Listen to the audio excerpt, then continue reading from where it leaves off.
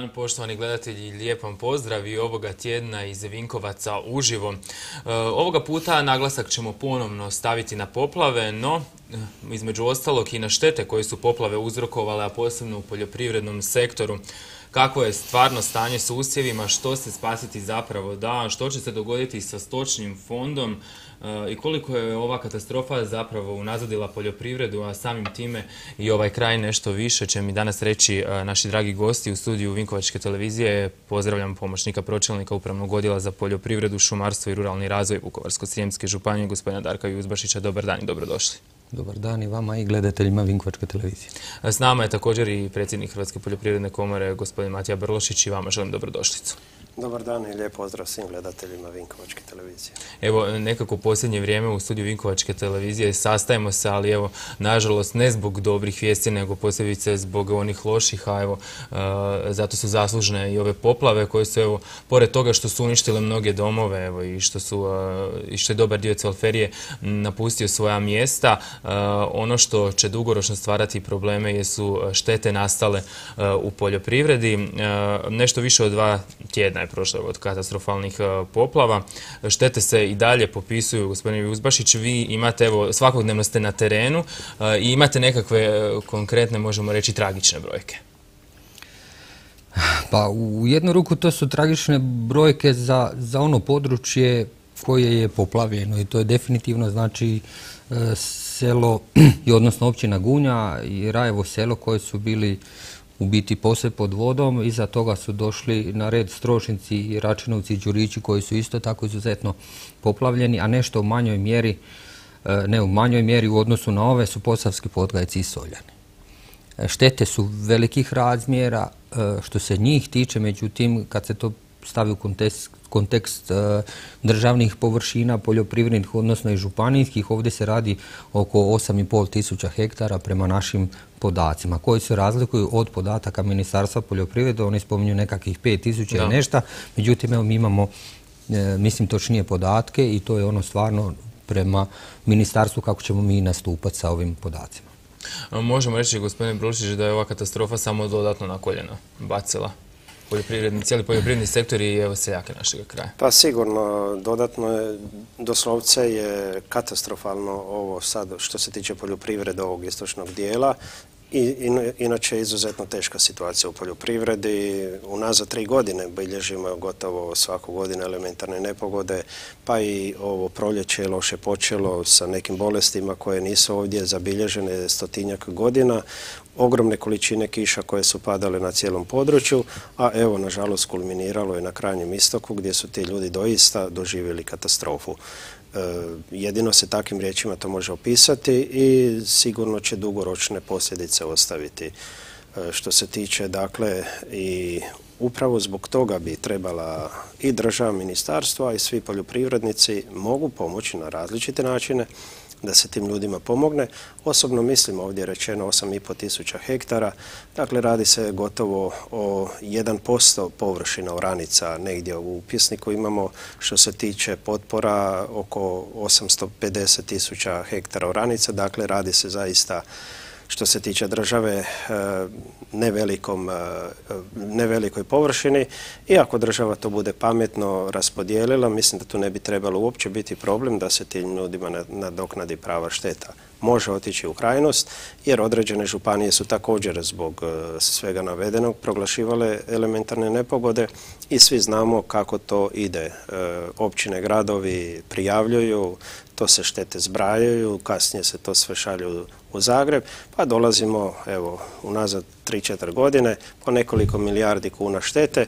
Ako ćemo uzeti e, taj model, neće biti dobro za ovo, stoga kažem jedan od modela i kako poljoprivrednici svi mogu pomoći, ne prijavljivajući takve štete koje su možda djelomično i nastale, ali ovaj, upravo e, ne bilježeći takve štete imat će više šansu da ovi poljoprivrednici dobiju, odnosno da možda vlada kako je najavila. Do sad, smo, da se do sad smo imali zakon o elementarnim nepogodama, dakle postoji jedna procedura, ovdje se zaista radi o katastrofi i ako država nema novaca, mislim da za ovu katastrofu treba odvojiti maksimalno 100% sredstva, a za elementarne ako bude. Što mislite, hoće li takav model nastupiti? Pa mislim da ne bi trebalo tu doslovce... Da razjasnimo, novaca se, novaca se pretjerano nema. Ako govorimo o hektarima, mislim da to ne bi trebao biti neki veliki problem, s obzirom računajući neki prosječni prinos po tom hektaru. U prosjeku je on, ovisno što se ima, jer na tom dijelu imamo i šećernu repu ovaj, koja je visoko dohodovna kultura, koja je preko 10.000 kuna investirano i neke, dakle u prosjeku gotovo oko 1000 eura se radi o nekom prihodu koji su poljoprivrednici očekivali. Ako se to pomnoži sa tim novcem, e, što se tiče, kaže države, ne bi trebalo biti, e, ovaj, ne bi trebalo biti problema. Ja ću ovdje naglasiti da i naše potpore što se tiče izravnih plaćanja su trebali iznositi 2,8 milijardi kuna, one će ove godine biti isplaćene negdje oko 2,4 milijarde. Znači, evo, država e, da se potrudi tu razliku, onu što je trebala platiti po pristupnim pregovorima sa Europskom unijom, dakle poljoprivredu slijeduje do punog iznosa iz državnog proračuna. Evo nek se ta sredstva usmjere u taj kraj i mislim da ne bi trebalo nikakvih biti problema za obnovu toga. Oranice će biti jedno, tu treba još i objekte, mehanizaciju, a i stoku zasigurno, vjerovatno, možda čak i više će biti štete nego što su na oranicama. Mislite u teoriji da ne bi trebalo biti problem isplatiti to sve i nadoknaditi štetu, a što je s praksom? Odnosno, svi znamo kako funkcionira isplata poticaja i svega pa, onoga što dakle, poljoprivredniki zapravo slijeduje iznosa, ako smo to rekli da otprilike što se tiče države 1%. Mislim da su u ovom slučaju poljoprivrednici svi koji su pomogli evo, na različite načine ljudima, neki su dali više od 1% nekog svog prihoda da pomognu tim ljudima. Dakle, evo, poljoprivrednici su pokazali dobru volju, država u tom slučaju mora pronaći. Dakle, ne radi se za državu nešto o prevelikim novcu da se to ne bi moglo napraviti. A što se tiče potpora nažalost to je tako. Eh, ovaj, mi smo zadnji u Europi koji ćemo očito dobiti te potpore. Poslali smo dopise i, i premijeru i predsjedniku i novom ministru financija i našem ministru poljoprivrede. Prvo što mora napraviti je isplatiti te potpore, već ih je treba isplatiti jer to je prva pomoć tim ljudima koji nisu više kod kuće, a i svim onim poljoprivrednicima koji su doživjeli nekakvu elementarnu. Idemo prvo to platiti, a onda idemo rješavati probleme e, koji nastaju s time e, podržavam i apsolutno se zalažem da riješimo katastrofalne ove ovaj, štete koje su nastale, a ako bude prostora i za ove druge. Pozivamo naše gledatelje koji su s nama da nam se jave na broj telefona 064 530 Ako imaju nekako pitanje ili komentar, e, evo, otvoreni smo. Naravno i čekamo vaše telefonske pozive. E, gospodine Juzbašić, koje su kulture najviše stradale? Pa ovdje, ovdje Mislim, gotovo da je sve, ne možemo ništa konkretno izdvojiti. Ovdje je poplavljena e, površina, e, ja sam spomenuo oko 8,5 tisuća hektara tamo, znači bez obzira koja je kultura, ona je u 100% e, iznosu oštećena. Tu nema više niti, ministar je spominjao da će se pokušati nešto riješiti sa dodatnim količinama sjemena ranih grupa, pa onda da će biti presijavanja. Bio je sastanak, ja mislim, odnosno okrugli stol na temu poplava i poplavljenih područja u, Vukovaru prije par dana i struka. i svi kažu, odnosno i mi kao agronomi e, znamo da tu definitivno dugo se neće moći ući u te poljoprivredne površine, a pogotovo sad da neko koji je uložio ogromna sredstva u proljetnu sjetvu, da sad ponovo još jedan puta financijski ulaže ta sredstva, a znamo u kakvoj situaciji Znamo da znači, nema. To je jedna stvar, a druga stvar što sigurno teoretski se neće moći napraviti na poplavljenim područjima niti jedna maltene ja stojim iza toga, znači neće biti e, druge sjetve i postrne kao da su to normalni uvjeti, da, ali međutim na poplavljenim područjima nikak. To je mrtvo tlo, to je tlo bez života i strukture, njega vratiti u, u ponovnu nekakvu funkciju za možda se od iduće godine nešto može napraviti, a neko spominje možda na jesen e, pšenicu, uljanu repicu pokušati sijat, to će pokazati vrijeme. Ali po teoriji, znači, našoj i struci to ne dolazi u obzir sad u šestom mjesecu izvan svih optimalnih rokova za sjetvu. Evo dobro, kada smo se već dotakli e, struke, moramo reći ovo što ste vi zapravo naveli protekloga tjedna u Vukovaru je priličen sedmi međunarodni znanstveno-stručni e, skup poljoprivreda u zaštiti prirode i okoliša, u okviru kojega je upriličen i okrugli stol pod nazivom poljoprivreda nakon poplave, gdje se zapravo govorilo o posljedicama poplave i dugoročnom utjecaju na poljoprivredu. Stanje, odnosno moguće spašavanje preživljavanja usjeva komentirao je profesor s Poljoprivrednog fakulteta u Osijeku, gospodin Daniel Juk. Pogledajmo što je rekao. Što se može po poslije poplava očekivati, to je pod velikim znakom upitnika sa svih strana. Poplava još nije završila. Još je dobar dio, veliki dio površina pod vodom, a jako puno je pitanja što naravno napraviti poslije toga. Naravno, ni odgovor ne može biti jednoznačan, niti jednostavan. Najprije treba utvrditi stanje šteta koje su, odnosno kakva su tla, u kakvom su stanju poslije tih poplava, koliko je navučeno sedimenta, odnosno pijeska, mulja na te površine poljoprivredne, e, koliko je površine erodirano tim postupkom, koliko brzo će se moći revitalizirati to tlo u poljoprivrednoj proizvodnji i uvesti u neku, recimo uvjetno rečeno, normalnu poljoprivrednu proizvodnju, ovisit će naravno od trenutka povlačenja vode i utvrđivanja stanja tih šteta na poljoprivrednim površinama. Postoje li kulture koje možda u ovoj situaciji mogu predstavljati ova situacija, trebaju definirati što znači ova situacija. Dakle, obično se računa da ratarski usjevi mogu određeni broj dana biti u vodi. Ozimi usjevi, prvenstveno pšenica i ječam, oni su propale. Govorimo o onim površinama gdje još uvijek leži voda. Voćarske i vinogradarske, odnosno trajni nasadi, oni su vjerojatno isto gotovi. Jedino što može ostati e, je šećerna repa jer razvije takozvano aerenhimsko tkivo, tako nešto slično poput riže.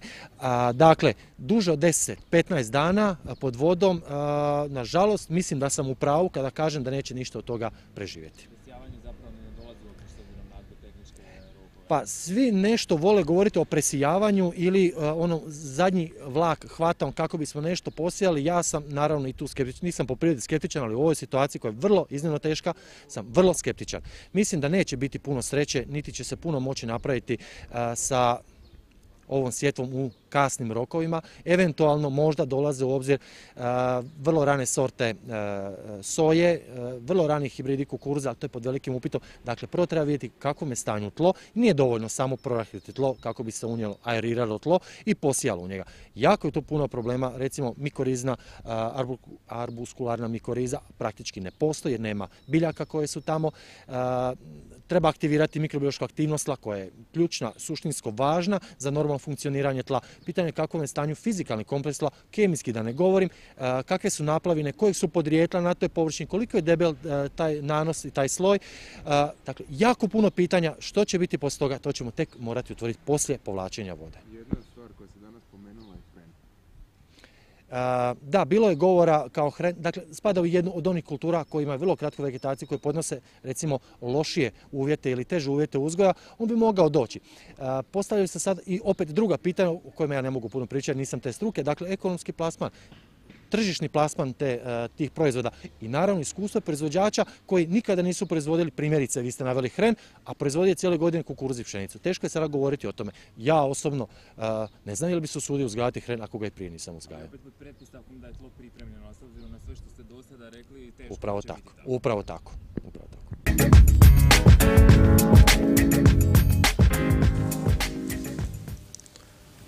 Evo čuli smo dakle što struka kaže na ovu cjelokupnu situaciju, e, pa vas moram da pitati gospodine Juzbašić, evo čuli smo jedan od prijedloga je na, na, na tom okruglom stolu je bio, bila proizvodnja hrena a sami ste rekli evo, da je možda prerano zapravo govoriti o, tome što će se dalje događati evo, e, na oranicama. Ono što me zanima, pretpostavljam naši gledatelji, kada ćemo znati nekakve konkretne rezultate analize tla, kada će se krenuti zapravo s tim, imate li nekakav podatak ili informaciju? Pa gledajte, ja sam svaki dan na stožeru i državnom i županijskom i imamo izvješća da se voda povlači. Međutim, objektivno je za očekivati da to neće biti brzo. Znači, niti za 15 dana neće se isušiti ogromne površine. Znate da voda puštena je u spačvanske šume, da kroz spačvanske šume je došla i do otoka, znači kroz e, Spaču, Bosut, nazad u, u, Bošnjačke vjerove, u Otočke vjerove, Brižnicom je došla skroz do, do, do, do Bošnjaka. Znači ta priča će trati dugo i ja se slažem sa sa profesorom da možda malo otvorenije treba reći, ali on neće, neće konkretno, neće, znači, neće konkretno. Ja otvoreno i konkretno mogu kazati da sjetve naknadne nema, niti bi ikome preporučio. Prvo iz financijskih razloga, a drugo iz onih razloga što, što gledajte, sad će doći visoke temperature, e, napraviti sjetveni sloj i napraviti takvu posljedicu da se može uopće nešto posijati i onda jedino uz navodnjavanje. S tim da opet E, naglašavam da tu nema živototle, niti, niti biljaka, niti mikroorganizama da se tu može normalna jedna. Ja bih preporučio da niko ne dira e, znači zemlju dok se ne naprave analize kao što su oni rekli na okruglom stolu pa ćemo onda znati. To su još one indirektne štete o kojima sam ja htio reći kad e, sad spomenem mhm. da Recimo na ratarskim kulturama prema našim procjenama je šteta oko 55,5 56 miliona kuna. To je direktna šteta koju smo mi ovako, kao što je Mato rekao, izračunali na bazi e, nekog dohotka i prosječenih prinosa. E, šteta na, na, na stočarskoj proizvodnji gdje je, gdje je e, uginulo oko 2,5 tisuće komada stoke različitih kategorija, a to je neki 176 tisuća kilograma je preko agroproteinke odveženo sa ovih područja i ta šteta isto iznosi 4,5 miliona. Znači šteta na, na ratarstvu i na na stočarstvu je nekih 60 miliona kuna. Direktna. Indirektna ona kad će se vratiti matični fond što se tiče stoke, e, kad će se tlo vratiti u jedno prihvatljivo, znači prihvatljiv medij da dalje se može obavljati poljoprivredna proizvodnja i ratariti. između. E, ako pričamo o dugogodišnjim nasadima, oni ako su bili pod vodom definitivno će propast, to je još veća šteta, to nismo uzeli u obzir. Znači ovih 60 miliona je okvirno nešto što mi sad znamo. Međutim, Postoje i povjerenstva koja će to odraditi, znači za elementarne nepogode i općinska i gradska, znači i županijska i državna i oni će to, nadam se, kvalitetno odraditi uz isključenje e, nekorektnih prijava i, i ljudi. Znači slažem se s tim da E, isključivo treba pomoći ljude koji su, koji su dobili direktno, znači poplave, dali direktno od ovo kao, kao ovaj Rajevo selo ili dio, manji dio površina kojima se sad za obalnim vodama došlo i poplivalo e, isto cijele table. Sreće to nisu toliko velike površine kao tamo, ali mislim da i oni trebaju ući u tu kategoriju poplava, jer to jesu te vode. Da, možda će čak, čak tu i nastati problem, neki će dobiti sve, a netko neće moći ući u određenu kategoriju i onda će se opet napraviti problem. Pa ne bi trebalo, ja mislim da ćemo mi to pokušati korektno odraditi i molim evo i ovim putem i, i povjerenstva i ljude koji, koji razumiju, znači ono nešto što je bilo prekomjernih oborina, kad smo mi 15. svibnja proglasili elementarnu nepogodu, nismo računali da će doći do izljevanja rijeke Save. To su bili sasvim drugačiji uvjeti i ima šteta, ne može se reći da nema šteta, znači od, od, od, od od, e, prekomjerne količine oborina u depresijama, masa, masa tih e, manjih površina je stradalo, međutim u odnosu na ovo sve što se naknadno desilo, mi ćemo jako voditi računa i u našem povjerenstvu i evo i župan je rekao i čak od svih se nas traži ozbiljnost u ovoj priči da se štete kvalitetno i ovaj realno procijene. Gospodine Brošić, zbog svega što se izdogađalo ove godine možemo očekivati onda kaos na tržištu. Pa ne bi trebalo biti, dakle radi se o jedan posto doslovce površina što se tiče Republike Hrvatske. Mi ćemo možda imati drugi problem, možda već evo sa pšenicom, gdje je pšenica... Pa pone prije u prvom redu mislim na pšenicu. Da, gdje sam rekao da imamo problema sa pšenicom, bolesti koje se nisu, gotovo niko ih ne pamti u tom obimu da su bile. I upitno je, s obzirom da su nam smanjene površine u odnosu na prošlu godinu, upitno je ili smo na nekoj doista granici, hoćemo imati dovoljno za svoje potrebe ili nećemo. I tu je sad što je važno. Važno je napraviti jednu kvalitetnu cijenu da ti poljoprivrednici prodaju e, prerađivačima koji su ovdje tu pšenicu, da, da ona ne ode van granica, ona će ako ode, koja god kila ode preko, ona će se morati vratiti nazad, samo se postavlja pitanje po kojoj cijeni. Dakle, bit će izuzetno važno u ovim sad narednih mjesec dana odrediti koja je to cijena u ovom trenutku prihvatljiva i da e, ta pšenica se otkupi, da ona ostane na teritoriju Republike Hrvatske. Sve u protivnom što bude izašlo, najvjerojatnije će se morati vraćati. Imaćemo problem. Problem će imati poslije svi, jer cijena e, proizvoda od pšenice će zasigurno u takvom trenutku i tekako puno rasti. Što se tiče ovih oranica, ja bi tu ovaj, doslovce seljački protumačio, onog trenutka svaki poljoprivrednik zna kad se njegova zemlja može raditi, on svaki put prije nek što dođe radi, dođe na nju, prošeta po njoj, ako ne propada, ako ne tone, ako ima busica, ako se ona da razbiti, onda ide u ovaj obradu. Mislim da to do kraja šestog mjeseca neće moći učiniti. Pitanje je gdje su kanali, da li su zatrpani, e, koji je herbicid od suncokret došao na kukuruz i suprotno. Mina. Dakle, ovdje još također može i mina doplivati. Ovdje je trebalo bi još i dodati koliko će još koštati da se to tlo vrati u onako stanje kako je bilo kad je bilo posijano. Jedno oranje, dva oranja, tri oranja, da li će se morati skidati, da li će se neke depresije morati navoziti. Dakle, tu se očekuje doista ovaj, privođenju ponovo ovaj, kulturi te oranice, negdje će to možda iz, i određeni znatnija financijska sredstva zahtijevati.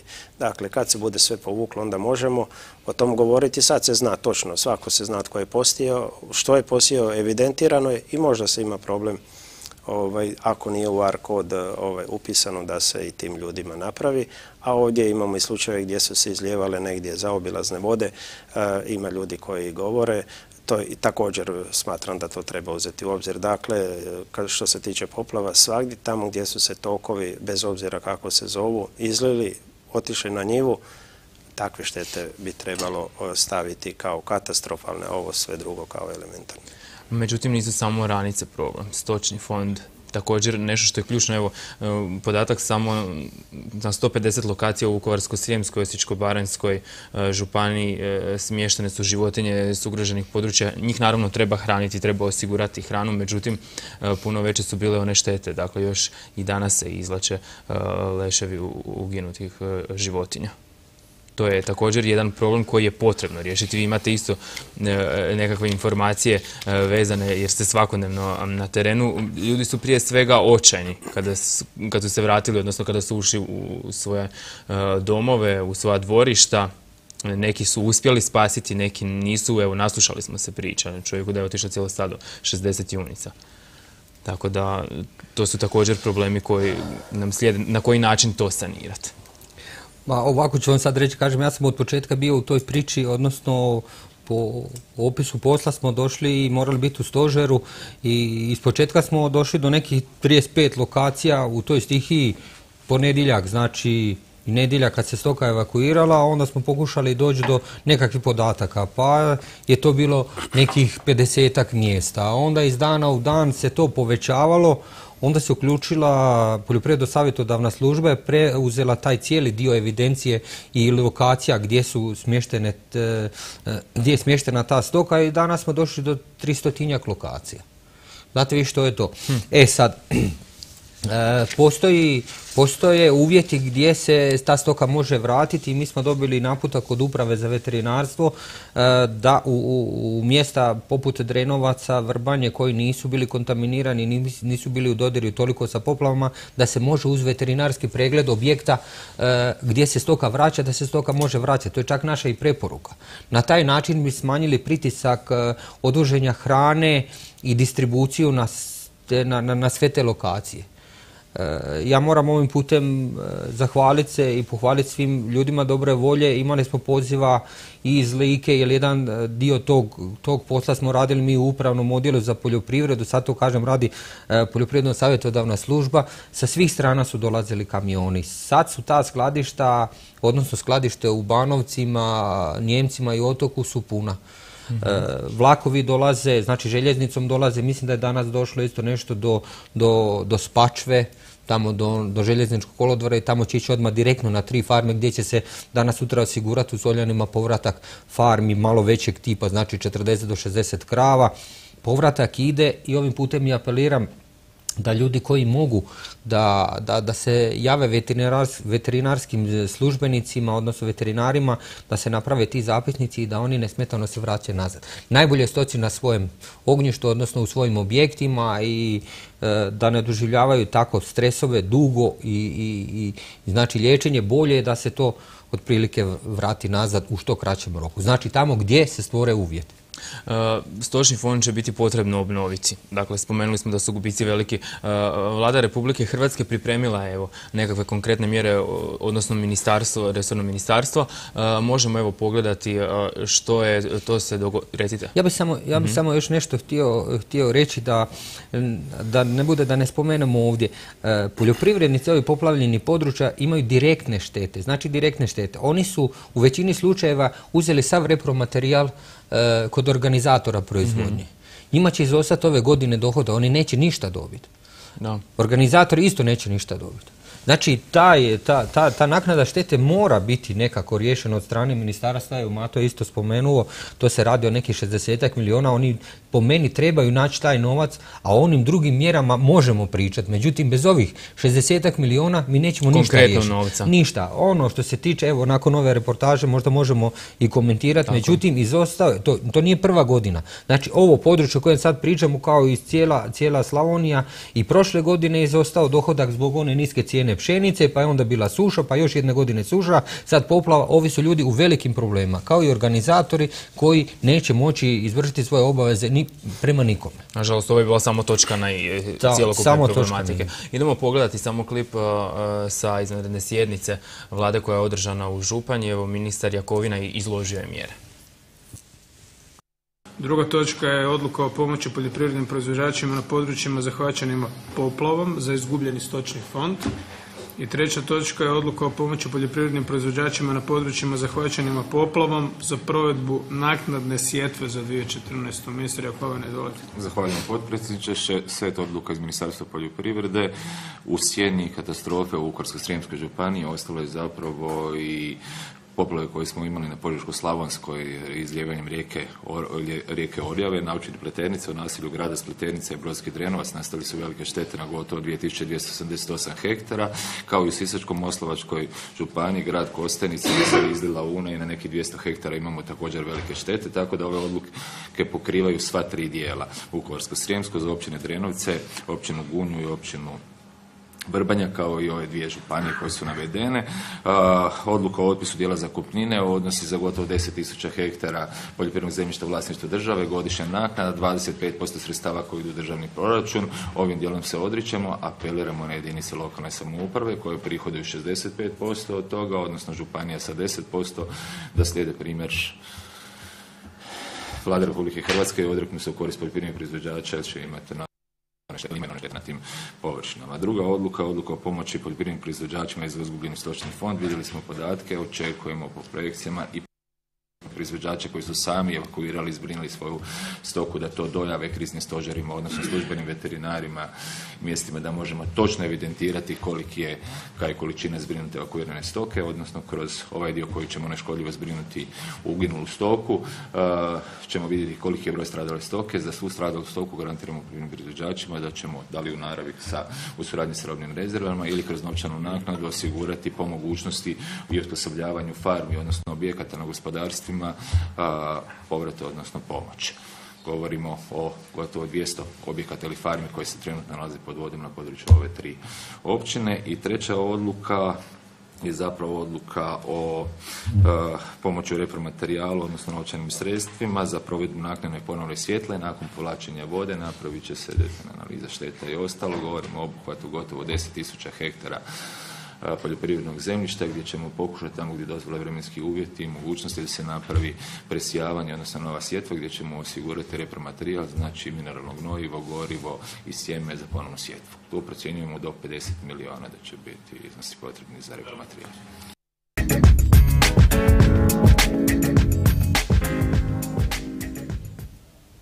Evo imali smo prilike e, čuti neke od mjera. Uh, gospodo, ono što me zanima, je li to nešto što je zadovoljavajuće po vama? Evo, iznijeli ste prethodne argumente, očito se ne možete naći ni na pola puta s ovim što je ministar je izjavi.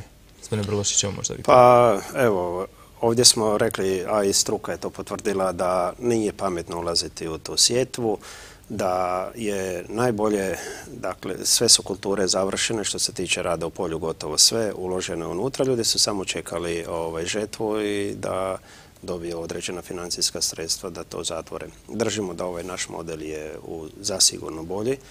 Sljedeće što će trebati sigurno stočarstvo, sve ono kad se vrati, e, objekte i držimo evo sad malo, ovaj, govori se da poljoprivrednici ne rade.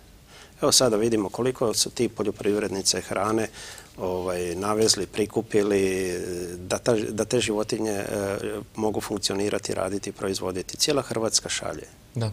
I to se potroši za desetak, 15 dana. Dakle, zaista koliko posla ti ljudi naprave, ne, dakle, e, treba i vidjeti kreditne obaveze tih ljudi. Što sa njima? napraviti moratorije za te kredite, za barem godinu dana ih osloboditi od kamata. Legalizacija isto. Također i neki troškovi, pa to su isto obaveze, ljudi su neki pokrenuli legalizaciju, trebaju platiti određene iznose, mislim da bi e, i trebala vlada donijeti odluku da za taj kraj legalizacija je apsolutno besplatna. Mislim kako vraćati kredit ako, a, ako nema što proizvesti, odnosno prodati na koncu. Jasno, i evo, na primjer, te životinje normalno i da je sve u redu, one bi tu hranu trošile i proizvodile bi. Dakle, hrana je nestala, hrane nema. Te životinje one danas ne proizvode. Većinom te životinje samo preživljavaju. Gdje se god nalazile, one preživljavaju i ne stvaraju novu vrijednost.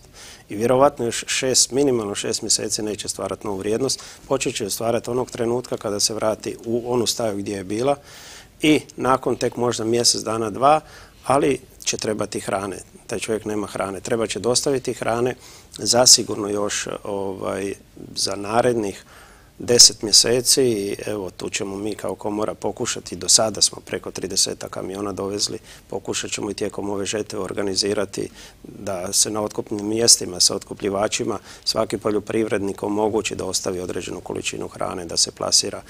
E, ovaj, imamo e, račun sa Kopakožekom, Europskim udruženjem poljoprivrednika, evo gotovo nadam se da će se i sve države uključiti i pomoći tim poljoprivrednicima. Dakle, smatram da će njima tek nakon mjesec dana ovaj, trebati najviše pomagati. Prilikom vraćanja i svega onoga što će trebati, dovoza hrane, stoke, popravke mehanizacije. Gospodin Uzbašić, e, vi niste niti malo zadovoljni predloženim pa ne, meni ovo, meni ovo ne premalo, meni ovo, ovo, ovo nije financijski ministar spomenuo nešto 50 milijuna kuna, nije rekao točno za čega i, ja bih volio vidjeti te odluke, odnosno da li ta, ja ih ja još, još nisam vidio, Znači ona ako je odluka, ona ima, mora imati zaglavlje i datum i sve živo i onda da mi znamo se prema njoj očitovati. Ovo je spomenuto prije par dana na sjednici vlade, možda je nešto u međuvremenu napravljeno, međutim meni ovih 25% ta mjera meni nikad nije bila niti dobra, niti dovoljno jaka oslobađanja od zakupa. spominje se da bi se jedinice lokalne samouprave trebale odreći. Čega se zapravo mogu odreći s obzirom na ukidanje PPDS-a i, i, sve ono što se zna Ma to je priča, pa ja ne znam koliko tu ima samo od ovih 8,5 tisuća hektara, koliko tu ima tisuća hektara koje su u državnom zakupu, znači državnog zemljišta koje je u zakupu. I da li onda ta mjera obuhvaća sve ove druge i privatno zemljište i one arende ili, ili nešto drugo. Znači ta mjera je selektivna, znači premalo ne obuhvaća e, sve poljoprivrednike. Drugo, ovo pomoć stočarstvu, stočnom fondu i farmam, to isto mislim nešto globalno rečeno ne, nemaju, nemaju modela. E, ponovna svjetla već smo komentirali, to nema, nema, nema smisla, znači mi predlažemo nekakav model, evo ovo što smo izračunali nekih 60 miliona i da onda mi zajedno sa udrugama i svim ljudima e, nađemo model e, kako te ljude obeštetiti. Jer gledajte, rekao sam, to je već drugu ili treću godinu ta područja e, ne, stvaraju prihode. Obaveze mi idu. E, Mato je spomenuo kredite, međutim i dan danas stižu vjerovatno obaveze porezne, e, znači predujma na, na porez, na, dohodak, znači mirovinsko i zdravstveno i sve druge obaveze će njima stizati bez obzira na osvijest. Znači i ovome treba neko, znači o poreznim olakšicama za ovo područje neko treba osmisliti način. Da se njih makar godinu dana oslobodi kako će ljudi plaćati mirovinsko i zdravstveno. Evo ovi seljaci koji nemaju ništa ove godine od prihoda, prvi novac je trebao biti u sedmom mjesecu, znači za pšenicu, oni nemaju novaca. Nemaju čeg niti od stoke, niti od od ratare. Da, ono što je najvažnije da e, ljudi koji, koji su živjeli evo, do sada u mjestima koja su poplavljena su živjeli isključivo i samo od poljoprivrede. Za njih je to bila osnovna e, djelatnost. Gospodine Brošić, o poticajima što reći? Dakle, još je jedan problem koji se naslanja na ovu cijelu priču. Imate li kakvih vijesti možda pozitivnih? Pa evo, sigurno isplata rečeno i ministra poljoprivrede. Prvo što može napraviti te novce da da. Osobno sam se čuo sa njim u subotu, pitao kada će to doći. Njegovo još u drugom mjesecu kad smo prvu isplatu radili, bilo je da će do kraja petog mjeseca riješiti. Peti mjesec je prošao. E, riječi ministra su da u narednih 10 do 15 dana će krenuti sa tim isplatama. Vidjet ćemo da li će to stvarno doći ili neće. Ne vidim u čemu je problem. Zakonski rok i zakonski rok je pri kraju. imali smo danas delegaciju iz Poljske, pitali smo ih kad su oni dobili poticaj, u trećem mjesecu je sve isplaćeno. Mi smo postali dio Europe, ne znam zbog čega se tu odugovlači, a osobno očekujem od ministra poljoprivrede da dođe ovdje hitno, da sjedne sa tim proizvođačima, sa poljoprivrednicima. Ja sam čuo nekoliko prijedloga poljoprivrednika, oni su se organizirali, imaju svoje prijedloge. Koliko sam ja čuo, zaista su korektni prijedlozi. Zaista korektni i slobodno mogu reći čak malo i sebi na štetu da idu. Ali i u slučaju da se isplate poticaj, to opet je samo kap. Pa to je trenutno, oni će samo preživjeti, platiti telefone, šta znam sve što će, kako je Darko rekao, obaveze prema državi. Dakle, to je ono što je već trebalo biti plaćeno. No, postoji ono samo pitanje od čega živje dalje. To je ono prvo. E sad imamo problem kako dalje, kroz te, dakle, evo, grupa poljoprivrednika uh, iz dakle tih sela koja su poplavljena imaju jedan dobar, dobar, zaista dobar prijedlog. Kažem, možda osobno i sebi na štetu i da oni doslovce predlažu jedne realne prihode da to bude ovaj, sa nekom cijenom trenutnom koja je na tržištu, da se tim ljudima plati u onom trenutku kada ta kultura dolazi. Znači ako u pitanju pšenicu za sedmi mjesec, ko ima pšenicu za sedmi mjesec dobije, ko ima soju u devetom mjesecu, ko ima kukuruz deveti, deset i tako dalje. Dakle, ljudi su zaista realni. Ja očekujem da ministar će doći među njih, da će čuti ovdje je rečeno, mislim da će struka potvrditi ovi novci što je država predvidjela 50 milijuna kuna za repromaterijal novi, ne treba to uzimati i bacati. Treba platiti onaj stari materijal, e, onaj materijal koji je staviti u zemlju od tih organizatora i tako dalje. Mislim da o tome treba voditi brigu. Nadam se da će ministarstvo shvatiti da od te sjetve nema ništa i da problem na neki drugi način rješavaju vlada je tu bila, možda je onda bilo to i prebrzo, e, prestihijski možda neke odluke donešene, e, voda se polako povlači, sada treba sjesti i razgovarati na koji način i kako. Ja bih prvo poslušao te poljoprivrednike koji tamo žive, koji su vjerovatno obišli svoje objekte i manja, sad otprilike znaju što im nedostaje otprilike i treba njih prvo poslušati. Kada oni kažu svoje, onda idemo svi sjesti zajedno i vidjeti na koji način i kako im pomoći. Evo, moj prijedlog da se prvo njih posluša. Smatrate li da je ova vlada sposobna ovo sve sanirati i riješiti? Pa ja ne bi, ja ne bi generalno o vladi, meni je to možda malo grubo, ja ne bi se petljio ono što mi nije struka i što ne znam možda, mada imam svoje mišljenje, ali ovaj, definitivno u ministarstvu, u ministarstvu mislim da nema dovoljno osjećaja. Ja sam bio na nizu tih i predavanja i skupova i nemam povjerenja u taj resor, znači mislim da nemamo dovoljno razumijevanja, sa strane to je pokazala i ove navodimo ih tri odluke vlade koje ne daju nikakve rezultate, ono konkretno što poljoprivrednici, seljaci, udruge i organizatori predlažu, o tome se još uvijek ne priča, ja nešto imam saznanja da bi se trebao održati sastanak ovaj mhm. tjedan, ali opet mislim da to nije dovoljno. Ja ako sam vama spomenuo da nekakve obaveze za nositelja gospodarstva OPG-a mirovinskog i zdravstvenog iznosi 1600 još nešto kuna mjesečno, plus predujam poreza koji bude oko 1000 još nešto kuna, 2600 sva ta gospodarstva znači imaju obavezu nastaviti i u petom, i u šestom, i u sedmom mjesecu i kako će, će oni to platiti. Znači, e, jedna od ovih mjera koje smo mi spomenuli trebalo bi biti taj da se makar stavi moratorij na te obaveze e, prema poreznoj i mirovinskom i zdravstvenom, plus ovo sve što smo rekli nekih 60 miliona da se kvalitetno rasporedi na one oštećene ljude i mi bi vrlo brzo došli do nekakvog rješenja gdje bi donekle seljaci bili zadovoljni. Znači imali bi vjeru u budućnost da vrijedi dalje raditi. Vi ako znate da su ta područja inače ostala bez, bez stanovništva, bez mladih ljudi, nakon cijele ove priče, ako ne budu kvalitetno obeštećeni, neće se, vjerujte, tamo jako puno svijeta Da, to je, to je još jedan problem. To je jedan poseban problem. Jedva sad imamo mladih poljoprivrednika, onda onih ljudi koji vole rata, pogotovo stočara, e, tamo i nije bio nekakav značajan stočni fond. Vi znate da, da, da tamo nema puno stanovništva, znači e, priča je jednostavna, To se radi oko nekih 60 miliona u, Samo treba naći novac. Pa čujte, treba naći. No- Novce ne- nekom se treba uzeti kao i do sada. Znači, jednom sektoru se mora uzeti. Znamo gdje se može, sada ja ne kažem. Političarima. Tako je. Hvala Pa vam puno dobro. na gostovanju. Njima. E, Ja vjerujem da će o ovoj temi biti i dalje govora, ne- ne samo na Vinkovačkoj televiziji, nego i svim ostalim medijima, ali mi naravno, pošto smo iz ovoga kraja, najviše se posvećujemo našim poljoprivrednicima. Ja vam se zahvaljujem što ste pronašli vremena gostovati evo, u Vinkovcima uživo. Svako dobro vam želim evo, i nadam se da ćemo se vidjeti još jednom prilikom, ali možda evo u nekom pozitivnom, drugačijem svjetlu. Hvala vam puno. Hvala i vama. Poštovani gledatelji, toliko u ovom izdanju iz Vinkovaca uživo. Za sam kraj emisije podsjećamo vas što vi možete učiniti i kako možete e, pomoći evo, mještanima poplavljenog područja. E, vi svakako ostanite dalje uz program Vinkovačke televizije, slijedi politika istina kroz koju vas vodi kolegica Jasenka Kordić. Svako dobro.